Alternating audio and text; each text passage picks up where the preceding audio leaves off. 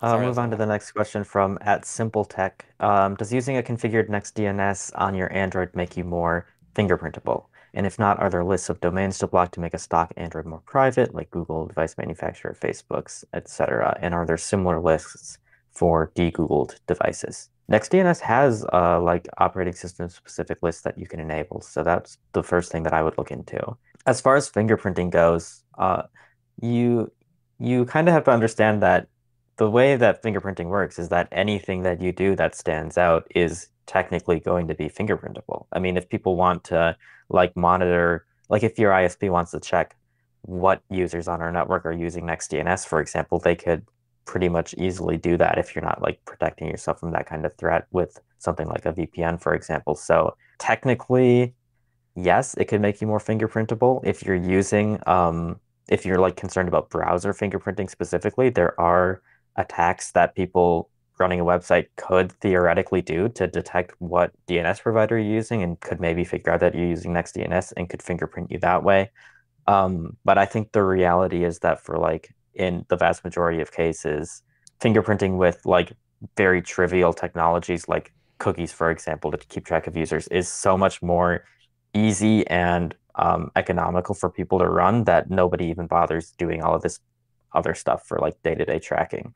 And if you are concerned about that, you have to take more precautions than just like even even just trying to blend in because if you don't do anything at all, if you don't use NextDNS, you're still going to be incredibly unique on your Android device. So if you're trying to thwart fingerprinting, you have to use things like um, well, like on desktop, for example, you would use something like Mullvad browser to blend in with a crowd. Um, and unfortunately, there are like less crowds to blend into on the mobile side of things compared to desktop, but um, it's it's really more of a case where I think that you should probably like try and figure out like who you're worried about fingerprinting you in the first place, like who are you trying to protect yourselves from, and seeing if you can take steps to prevent those specific risks or those specific threat actors from finding out your data, rather than like trying to blend in from every single person, um, because it's it's very challenging to do, and kind of focusing in on like one specific threat is probably a lot more realistic.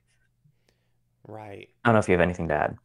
Not really. I think that's all great. And I think, again, fingerprinting is so weird. It's hard to research. There's not much research on it.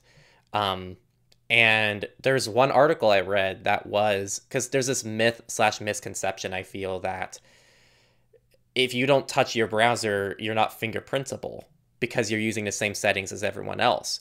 And that's kind of a myth. Yeah. Uh, there was a whole research article I read that showed that, like, just Chrome by itself, not touched, is 99% fingerprintable. So, Absolutely.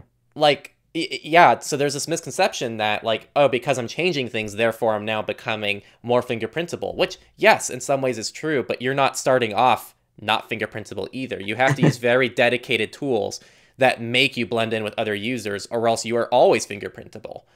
Yeah, So, absolutely. Yeah, it, it depends on where you're starting from because if your baseline is something where you do blend in like Mullvad browser, then yes, changing things is going to make you deviate from that baseline. But the reality is pretty much no tools besides like Mullvad browser and Tor browser right now have any focus on fingerprinting whatsoever. So you're you're always fingerprintable from the get-go, no matter what you do. And you can only try and like slightly improve that um, but even even so, I really don't think that there's a way to become like as to avoid fingerprinting um, at the same level as like Mullvad browser or Tor with any normal browser because it's an impossible task if you're worried about every single possible fingerprinting outlet. You have to be using a dedicated tool that creates a crowd for you to blend in with like intentionally in order to get like that kind of super advanced levels of privacy.